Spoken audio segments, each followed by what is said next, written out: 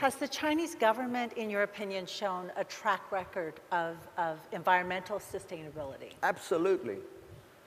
And this is the other thing, and those who are interested, today I have a piece in the South China Morning Post in Hong Kong, which I don't normally write in, basically saying, what, you know, is again to the Western narrative, what can China do that the West will actually applaud? And I give some examples.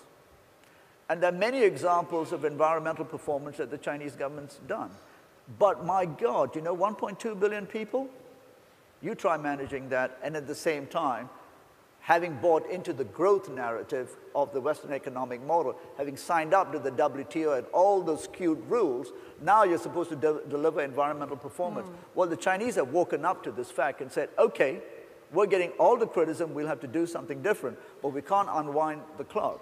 So, you know, China on public transport, for instance, as you will know, opened up the Pandora's box of public car ownership, private, public, uh, private ownership. Nightmare. 20 years they've created a nightmare. But at the same time, they're making the biggest investments around the world in public transport. That is the counter to that. But can the Chinese, can the Chinese government intervene? I hope so.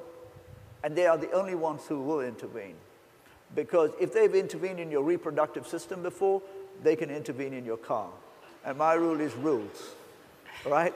And it's only rules that will save China from the mess if it leaves it to this narrative that somehow free mm-hmm. markets, democracy, and capitalism will solve its problems.